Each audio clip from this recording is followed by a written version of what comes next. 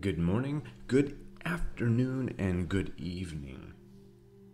I am Ryan Keys, your host for Spirituality with a Spin. And boy, do we spin it. So, we have been talking about the twin flame phenomenon, soulmates, life partners, and this inevitable task of running, chasing, reuniting, discovery and first, let me apologize. This is an interruption in my runner chaser cycle um, because I felt like we're a little too focused on branding the phenomenon running and chasing. It is there and it needs to be discussed, but we need a break. We need a breather. We need to know what are we chasing and what are we running towards.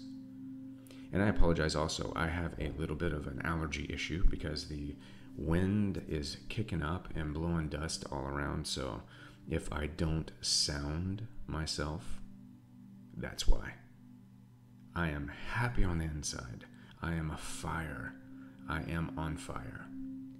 I've had hundreds of people contacting me and we are interacting. I am intuitively counseling and giving readings to so many people. We are making headway. Because this is a point of where all of us as fellow creators are coming to a crossroad. We have been consciously called by our Creator to create. The twin flame purpose is about a conscious wake up call.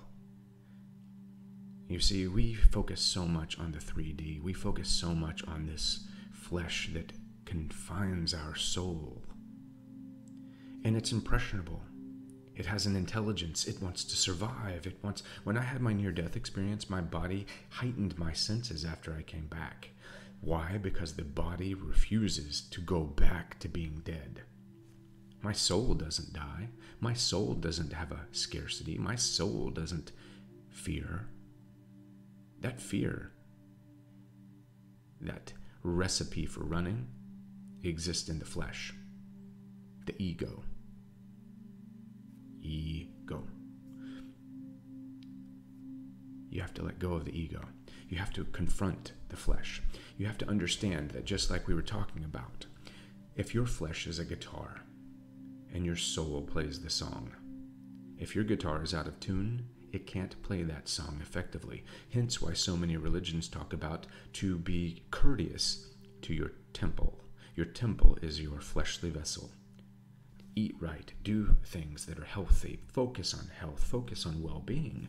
It's not about image control, it's about allowing the soul to inhabit a temple that is healthy. Because you can't manifest the things that are necessary to become to the place where you need to be if you're not focused on these evident facts. Tune your instrument, baby. Tune your instrument to play that soul song. We all have it inside of us. And think of the twin flame phenomenon, that soul search. When it is upon you, it is a symphony. It's going to make others around you dance because you're playing it. Yes, the running, chasing, the separation. If you focus on the flesh, could become eons. It could go from months to years, from years to decades. It could end the 3D connection, the flesh. Did, did you hear what I just said? It, the flesh, could cut the 3D connection from the 5D interaction that wants to transpire in the 3D world. Your soul is calling out. The Creator has called you to to come together, to go back to the Garden of Goodness, to go back to the origin where the divine being that manifested us all said, It is not okay for one person to be here. It's just not right. I'm going to make it two. So, whether man came first or woman came first, we don't know. We could be from a woman's rib. I'm open to thought on that. Perceive what you like. But every story on this planet has a garden, has an origination, has a genesis. And in that genesis, man was manifested. Man was not manifested as a singular soul entity by itself because it doesn't work. You need the gender polarity the masculine, the feminine, the yin, the yang. You need it.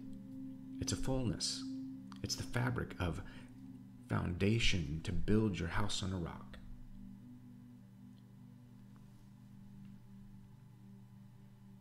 So if you are in the midst of struggle, in the midst of depression or anxiety because you're chasing and the other person is running, we need to kind of say, hey, that is that spiritual seesaw. But let's see it as a sacred dance. It's momentum. It is a chance to become one with yourself, to understand what it is that is going on in your heart, in your mind, to purge the things which have held you back. Like when I fast, I fasted for 30 days one time. Now, don't go doing that because I've said it. You can do whatever you want, but check it with doctors and do it. I myself fasted for 30 days. In that 30 day time, wow, awakening city. I saw things in a different light because my body no longer controlled me. Think of it if society no longer controlled you by fear, if the media didn't pump you full of fear and scarcity, and if Disney didn't pump you full of fantasy world, if you just had an organic experience. Whoa, how original, how awesome. So when I fasted, I went back to this organic interaction of self in a world because I not only fasted food, I fasted media. I didn't want input that was negative. I didn't want to feel that oppressive force that comes with egotistical awareness. Everything will match you. Energy matches energy. What you resist persists. Someone wonderful told me that one time. I'd like to thank that person. Once you match your energy to the truth, that truth becomes an energetic pattern. It allows you to create more truth. Now, if a part of you or a part of your twin flame relationship isn't feeling it, it's because they haven't gotten to that point. It's not bad. It's a seesaw. It's an up and down. It's a balancing act. Because the flesh and the blood do hold back us from understanding the energetic consciousness quite a bit. And media has orchestrated many things to try to encourage us into a state of independence not really wanting the family to be a focus any longer. There's a reason. The powers that be, the society that kind of sways us, doesn't want us to have an awakening. They don't want us to embrace this spiritual purpose. Why? Because that comes with balance and love and understanding and a conscientious nature of handling the world. The boogeyman would be gone. There'd be no reason to fear. There'd be no reason for war. There'd be no reason for weapons. And yes, is it a bit of a utopian, idealistic dream to think that? Possibly. Or have we just been told that that's idealistic and unattainable?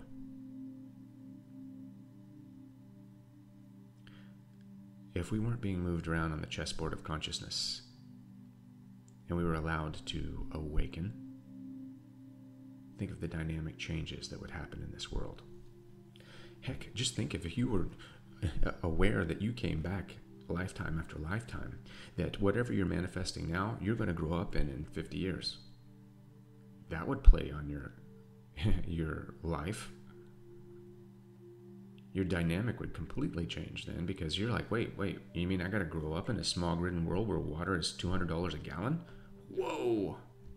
Let me change it now. Keep in mind, going back to the guitar scenario and the music scenario, when you're out of tune, you can't play the song you need to play. It's going to rake on the ears of those around you. You need to establish a natural harmony with yourself. You need to get into nature. You need to understand how nature works. You need to understand that you are a fragile being. You don't fit in on this planet. If it wasn't for intellect and for intuition, no human would have survived. If it wasn't for our intelligence, we would not be here. The planet is too harsh, too controversial. There's too many things on there that would have killed us. But we were giving divine intuition, spiritual self.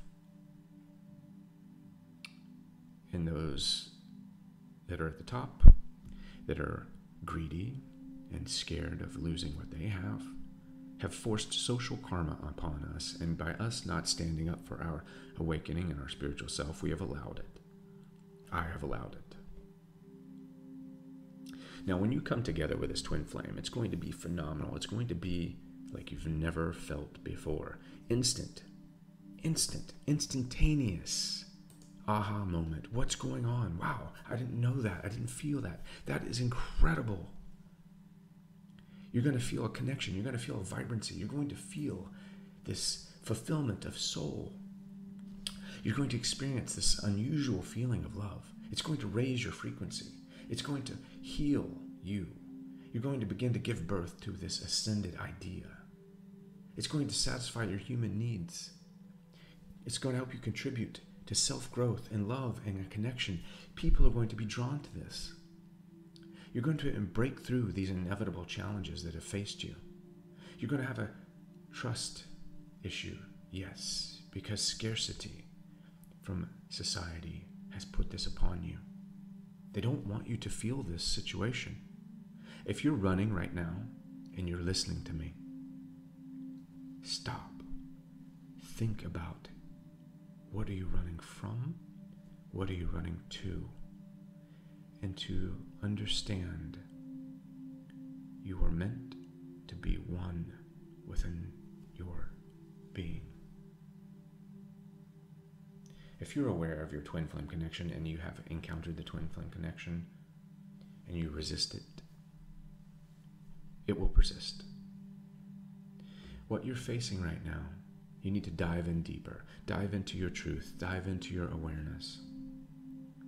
Allow the organic nature to transpire. Understand that masculine and feminine need to come together to become complete. Are we incomplete as we are? No. Flesh bound, we're here. We're a body. But what's that hole you have inside? What's that little feeling that is down deep in that recess of your soul? That longing for when someone calls your name that you love, for when someone puts their hand on your back, that essence is projected, your efficacy is effected, the energy is multiplied. Now you tell me that was not ordained and designed by the being, the entity, the God, the Creator that manifested you. Don't let anyone steal your divine. Don't let anyone make you believe that you crawled out of the mud. Einstein didn't believe it. Steve Hawkins doesn't believe it, and they're a leading scientist.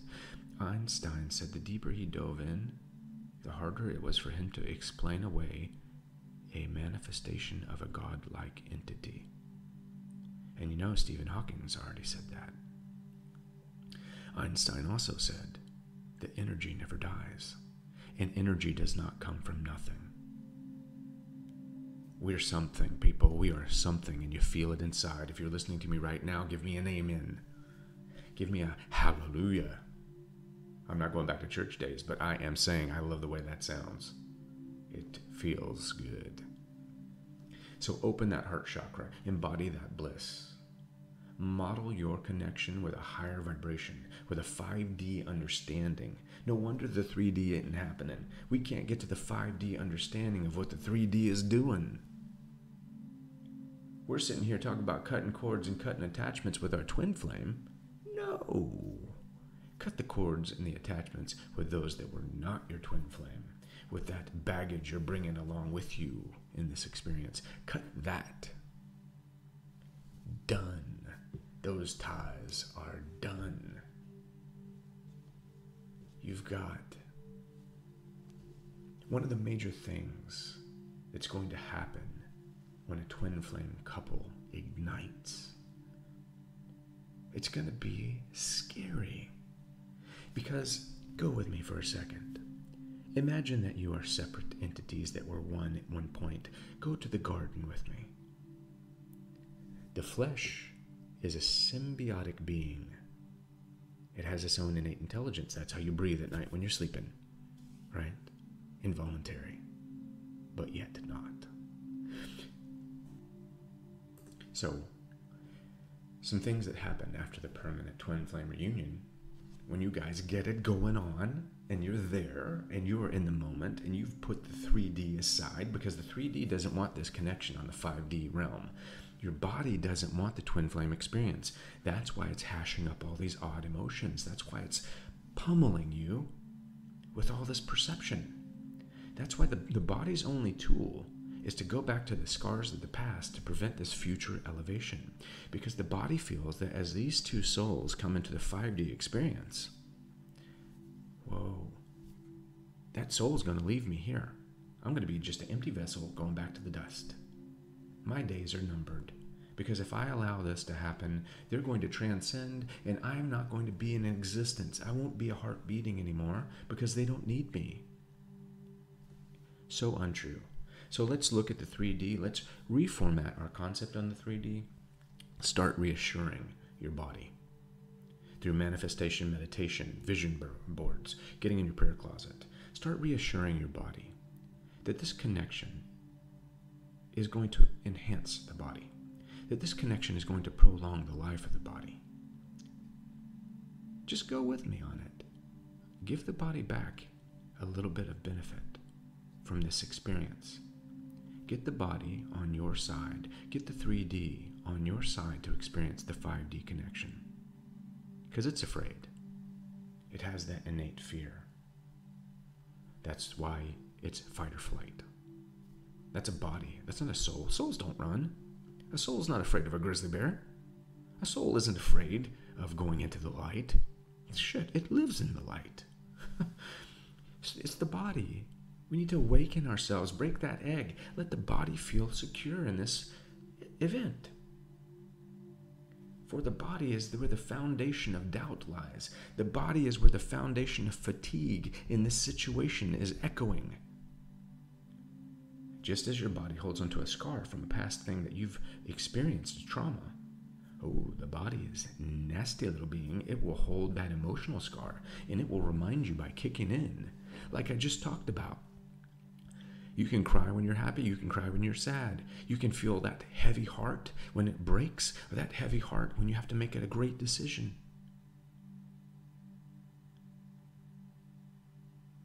Think about it. So, this shift after this reunion, why do you want to get a reunion? Why? Because the energetic self feels complete and fulfilled and matched. It no longer feels like a piece of something is missing. It's not elusive, it's not adrift in this big soup bowl. The challenge, yes, is the sense of belonging, connection to the rest of the world, an interaction, feeling like you're going to be strained with this event, but it's going to better you. It's going to better you. Don't let the void become full of depression and doubt. Don't let the body manipulate you with fear. The soul is not afraid. Anybody tell me, does the soul have fear? Is the soul afraid to die? Because the only true fear that we have in this world that is across the board for everyone, that is unbeknownst, and it's not necessarily being afraid as much as it is concern. But for some people, it is a fear, is the fear of death, the fear of permanent disconnection, the fear of being, the fear of being permanently unplugged. There's a guy named Jiddu Krishnamurti who dove into that topic and how if you can get past the fear of death, then you've got a foundation that is unstoppable for awareness to ask the questions that need to be asked. So when you find this perfect fit with your twin, and it's contrasted, it feels a little out of place, it feels foreign. Because not many people experienced this in the past. Or did they? Maybe they just didn't say it. Maybe we just didn't have a label on it. Maybe those long term relationships where people came together in the 40s and in the 1800s, like my grandmother. Maybe those relationships were twin flames. Hmm. Maybe that's how these people stayed together. Because when I go into a nursing home, I see people that are still wearing their wedding ring. And their husband's been dead for 10 years, and they were married for 50 years, and it was the best thing that ever happened to them. And they said that they would never change one thing about that. Sounds like a twin flame to me. So this phenomenon's been happening a long time. But now it is in a bigger call. It is in overdrive. 2017 is the year of the twin flame. Trust me. Because consciousness is waking up, the Creator calling us. It needs volunteers. It needs us to come together. A conscious coming together. And you're much more powerful together than apart. Run all you want, but you can never tell me that when two stand together, it is going to be stronger than one. That's why many many religions say, wherever two or more are gathered in agreement as touching what they agree upon is bound in heaven as it is on earth, as above so below it is done. Two or more. Not one. There wasn't one person in the garden. If there was, we wouldn't be here. There was two, a mama and a papa. Now those souls interact and those souls can interchange. It doesn't mean that your physical facade has to house the female, that the physical facade has to be a male to be a male. It just means that the unity of two entities that were one, broken into two, coming together to experience this nirvana, this love. Then we allow the 3D to dive in and to create crisis, depression, conflict, fight or flight, chase or run. Yes. And then one of the other shifts that you're going to experience in this twin to twin relationship is the priority. That it's not like anything you've ever done. It's going to elevate your life's purpose. It is going to become this role, this endeavor. It is going to become aesthetically wonderful, healthy. It's going to increase family ties when you come together. Because it is about changing the energy of that which is around you.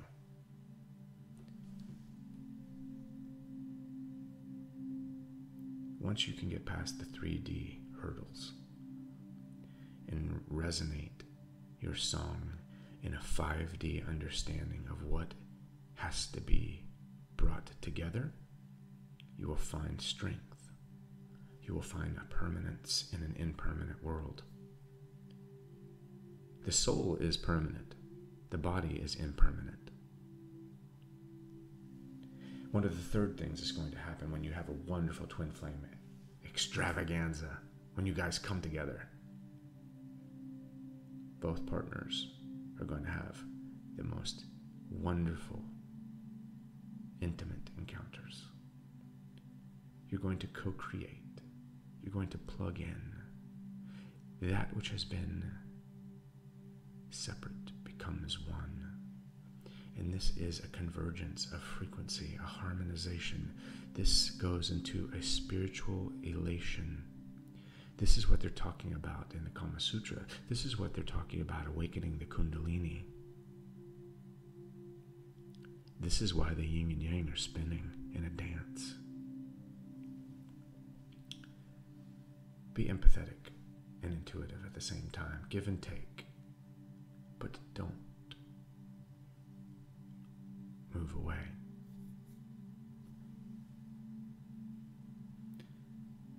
One of the fourth things that could happen in this twin flame fabulosity of coming together. You've cultivated patience, understanding, love for what is opposite you and your own quirks. You have found a complement to you, a, a, a mirror. You've been able to finally see yourself because no one else on this planet has taken the time to show you. No one else could have shown you the deep seated places that needed to be swept out but your twin. No one else can pull you into this provocative place of spiritual enlightenment. Because spiritual enlightenment is provocative, it is just enormous, it's electric. Finding that common ground is like winning a war without fighting. When both partners begin to manifest according to their individual ideas, but they co create in perpetual symphony. So embrace and cherish the yin and yang duality. Let those opposing elements contribute to the resilience and the fuel that you need to build the twin flame fire. The more you begin to divide yourself or to allocate protective areas to shield you from being one with someone, you're planting seeds in the wrong field.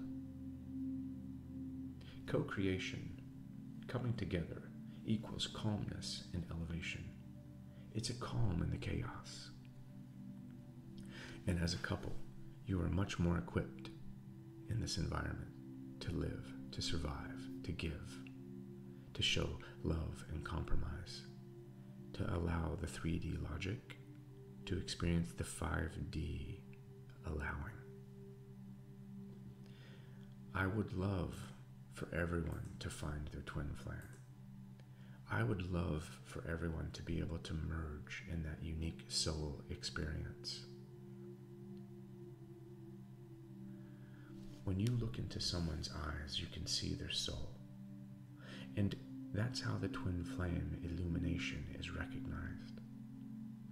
When the twin souls begin to merge and their eyes are connected, even if it's across the way, those eyes reflect back to each other a mirrored embodiment of self evolution. Those souls have recognized each other for many eons. The body is not on board. The body is fabricated in this life. So, of course, the body is going to be overwhelmed because it doesn't understand. This soul consciousness takes a while to wake up in the body. And that frequency and that fire scares the flesh. So we need to learn how to encapsulate that, how to embody that, how to put that fear of the flesh that they're feeling to the side. Reuniting is not easy. The phenomenon of separation is not easy. The running and the chasing is not easy. No. But when you experience a certain level of self rationalization and realization, and you begin to see that the twin flames serve a divine purpose, that they come into your life for this deep, perfect love that your soul craves. Your body has no idea about this love. Your body's just geared to breed. So that shakes up everything that's going on in your current reality.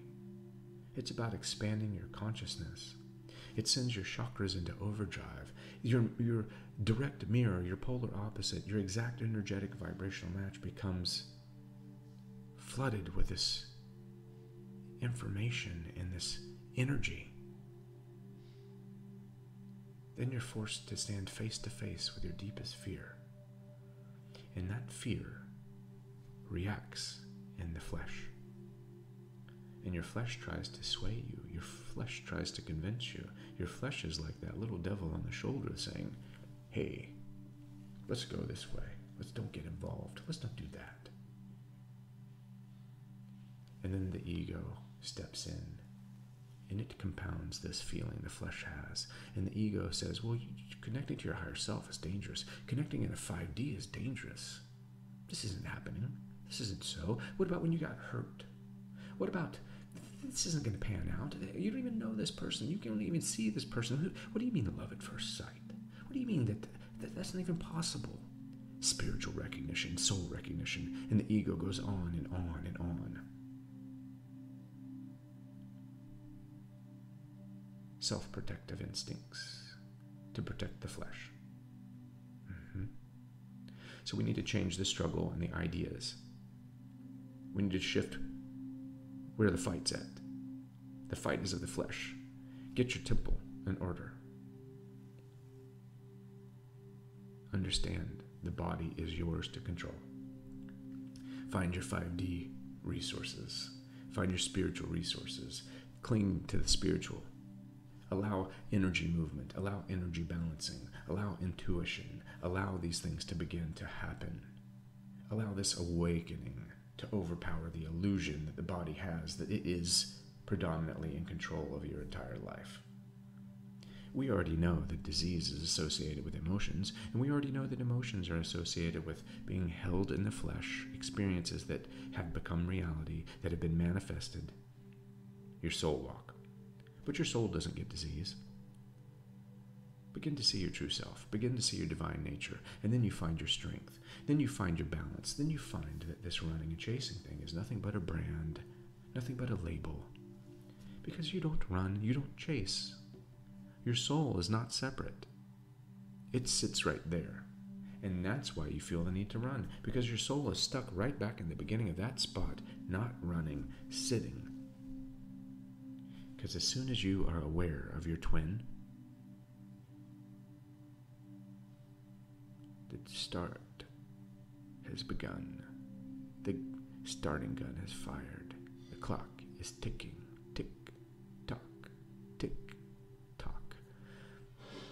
The awareness of that has already begun. And yes, you may not be together in the 3D world, but if you're not together in the 3D world, I am inserting that it is because one party, one person invited to the party, does not want to partake of the elevation of the fifth level of experience. And it's not bad because you'll come back. You'll be with them again and again and again until you get it right. But we need this confrontation to stop. We need this conflict to dissipate. We need the coming together. We need people to answer the call. We need success stories. If you've got a success story of a twin flame experience, leave it in the comments. Leave it in the comments. Share with all of us. We need it. We need to see what is possible in the present. We need to see that that God sent encounter is about something bigger. That that sparking of direct communication with the divine of two becoming one.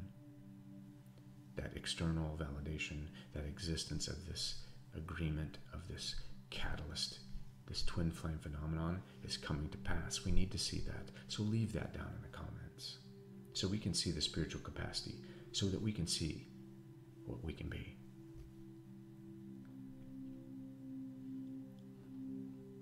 Ascend, my friends, ascend. Focus on your temple eat as healthy and as much life giving stuff as you can eat. Get exercise, get outside, let the sun shine its light on you. We need to come back to ourselves, our true selves, so that everything falls into place. You need to see the divine. Stop letting the media tell you that you are a fear based being. You are not. Scarcity is a lie. we were given everything we need here to survive, to thrive. So that is what I believe we need to strive for in the twin flame union, the benefits of being in the union. Sorry for running on. If you've gotten this far, you are dedicated. I appreciate it. Subscribe down below, leave comments, and look out. I will see you on the other side.